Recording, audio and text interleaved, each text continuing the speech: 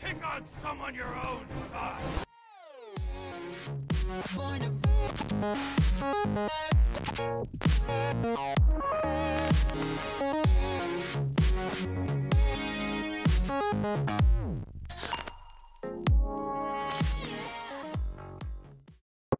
Hey everybody, it's Marshall Monkey here, and this is going to be my The Lego Batman movie review. So yes, Lego Batman is, is here, and technically this is the first comic book film of the year. Like, this is the first comic book movie of 2017 when you think about it, because it's Batman, and I loves it.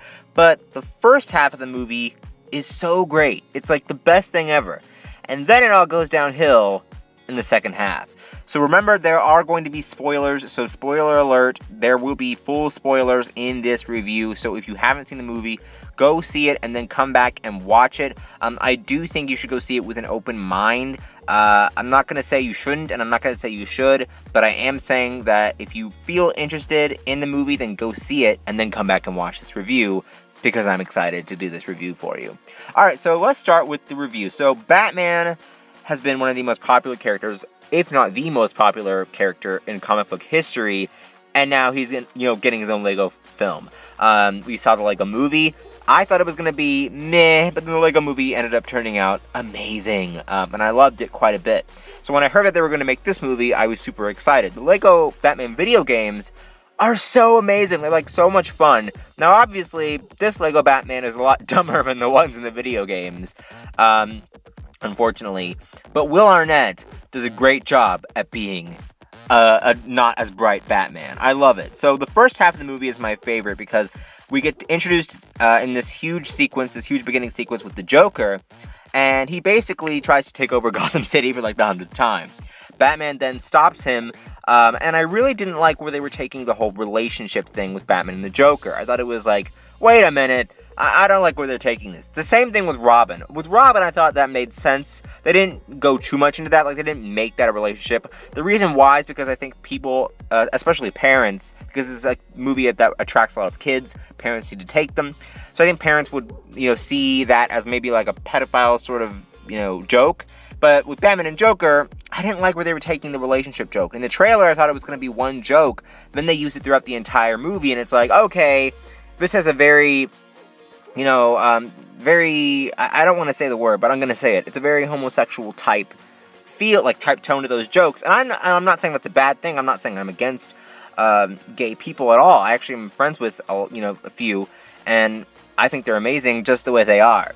Um, but with here, with here, it's just it's it's different because this is a kids movie, and I think it's it's really I don't know how I feel about it. I don't know how I feel about them switching that up a little bit. You know, Batman and the Joker have never been in that sort of relationship before, so it kind of bothers me to see that they're trying to make that a thing, especially in a movie like this that, you know, doesn't really need it. It's not necessary.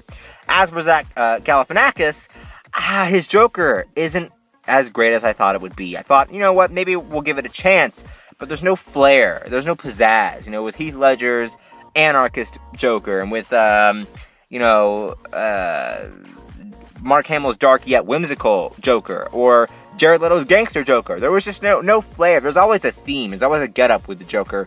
And Zach Galifianakis, his Joker was very plain Jane. It wasn't exciting. Same with Jenny Slate's Harley Quinn. And Harley Quinn is so popular right now because of Margot Robbie um, catapulting the character a little bit more. Um, and of course, Tara Strong in the Arkham games, and you know, it all started with Arlene Sorkin. You know, so I, I expected Jenny Slate to kind of maybe put something different for the character. Um, Harley Quinn wasn't that big of a character in the movie, but I still expected something, you know, just to make the character still its own. Uh, but Jenny Slate didn't put anything on there either. So a lot of the characters' portrayals are very plain in this movie. Maybe because there's not enough time for all the villains that they've you know jam packed into here, but I just expected more from the Joker and Harley Quinn.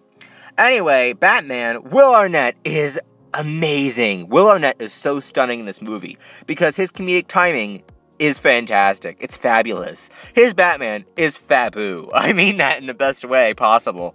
That it's just so spectacular to see him have such great comedic timing, great jokes as Batman, with still making him an awesome Batman. I think that it's just the perfect, you know, bat for the perfect casting for a Lego Batman. I think that he's just so great, and I loved him every step of the way in this movie until it kind of got to the second half. The second half was very wrong. It was like focusing on what Batman was doing wrong and not what Batman was doing right, which I think was the whole theme of the movie, but it still didn't work for me. And I didn't like where they were taking that. I did like the life lessons that Batman had to learn about family and about, you know, love and about having a, a son even. So I, I really liked that. Um, and I think that it was interesting that they were going with that because I thought the movie was going to turn out so differently. You know, um, it just that was basically a lot of the movie was really life lessons, and it was kind of too much by the end of the movie, but it was still enough. Like if the movie had gone on another 30 minutes and they were still doing that, oh man, it would have been beating a dead horse there. But let's talk about the worst character in this entire movie.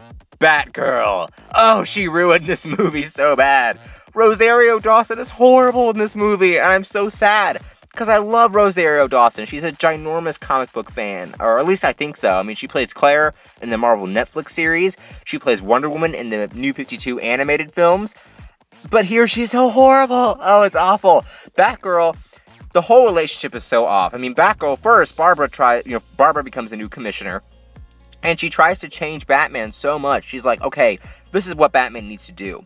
And I thought that was horrible because all of Batman's partners slash sidekicks have always agreed with what Batman is doing. He's they've always agreed with how he runs this city. He always agrees by they always agree with how he takes charge as a vigilante, and that's why they wanted to work with him because they thought that what he was doing is right.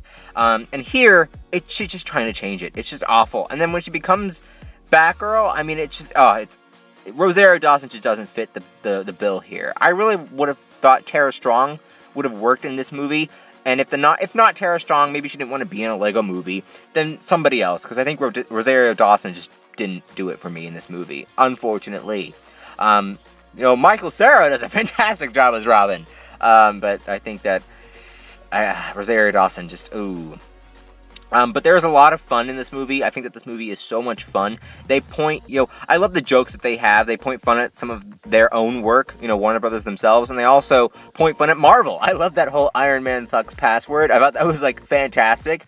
Um, because let's be, and a lot of people are going to be like, oh, DC's throwing shade. Um, Marvel's thrown enough shade. DC can have a little bit of fun, especially in a movie that's not even a part of the DCEU.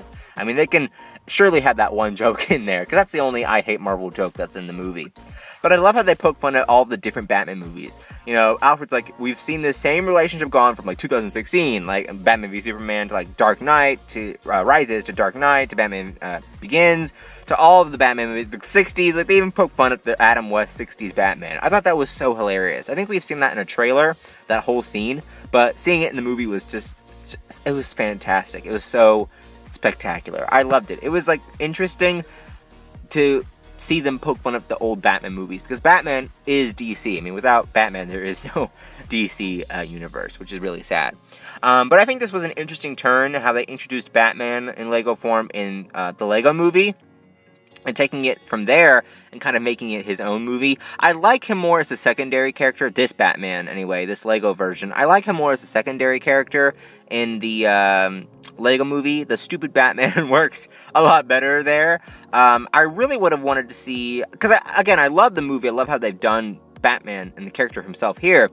But I really would have liked to seen a serious Lego Batman movie because the, again, the Lego games are very serious and Batman is so well done there but I really wanted to see what would happen if they did that. But um, unfortunately, they didn't do that. The whole grand scheme of things, you know, once they introduced Bar- uh, Batgirl, the movie went downhill. I think, the, you know, they also tried to play with the Phantom Zone. I love the Justice League cameo, uh, by the way, with Michael Cera's Robin. But when they tried to do the whole Phantom Zone with Joker, it just it got too out of control. So the movie is very zany. The movie is very bold. The movie has a few problems with some of its, its characters and the grand scheme of Joker's plan was not as bright as I thought the writing should have been, but it's still so much fun, and there's so many fun jokes in here. And they did a great, uh, great job of making Batman into a parody type for the movie. I love it. I think that it did it did well. So I'm not gonna say that the movie's great. I'm not gonna say the movie's not great. I'm just gonna say it's fun to watch. But what do you guys think? If you've seen the movie, comment down below. What was your favorite part and who was your favorite character? And do you agree that Batgirl was so bad in this movie? Um, links, links up there to my other videos. Links in there to my Twitter, Instagram, vlog channel, and gaming channel. Don't forget to like and favorite this video. Don't forget to subscribe, and I will see you guys later. Bye bye.